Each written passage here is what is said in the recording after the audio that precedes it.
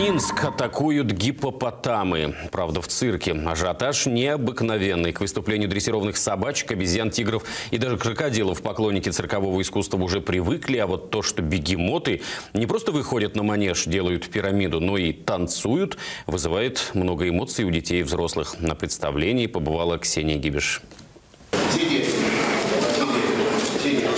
В этих ваннах Яна, Аида и Злат сидят практически целый день. Бегемоты выбираются из теплой воды только на репетиции. Дрессировка гипопотамов – дело трудное и долгое. Народный артист России Тофик Ахундов признается, бегемоты неприхотливые, но очень упрямые животные. Бегемот такое животное, вот ты его привез сюда, попробуй вывести его в манеж.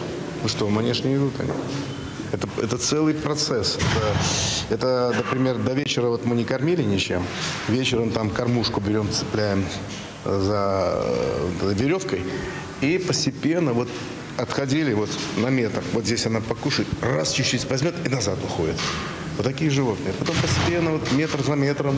И так приучили манеж идти. Научить бегемота идти в манеж – половина победы. Заставить его там танцевать и выполнять всевозможные кульбиты – задача максимум. На это уходит много времени. Со своими подопечными Тофик Ахундов работает уже шестой год. Самое главное, чтобы животное тебе доверяло.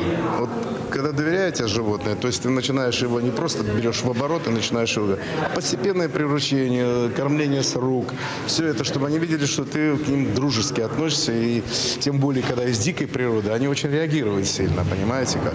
Они с опаской, они все время на, на настороженные так. То есть, ну, это инстинкт природы. Несмотря на свой гигантский вес, около тонны, бегемоты вегетарианцы. Любимая еда – морковь, картофель, свекла и капуста. В день один зверь съедает до 30 килограммов овощей. Кстати, во время представления гипопотамов не стараются задобрить с помощью лакомства. Их кормят перед выходом на манеж. На сытый желудок выступление проходит на ура, и зрители остаются в полном восторге. Конечно, мы были в восхищении от бегемотов. Бегемоты были замечательные. Вы видели когда бегемотов? Нет. А вам понравились? Да. Ура! Мы видели первый раз бегемотов. Не ожидали, что можно таких животных с виду очень глупых, а многому научиться.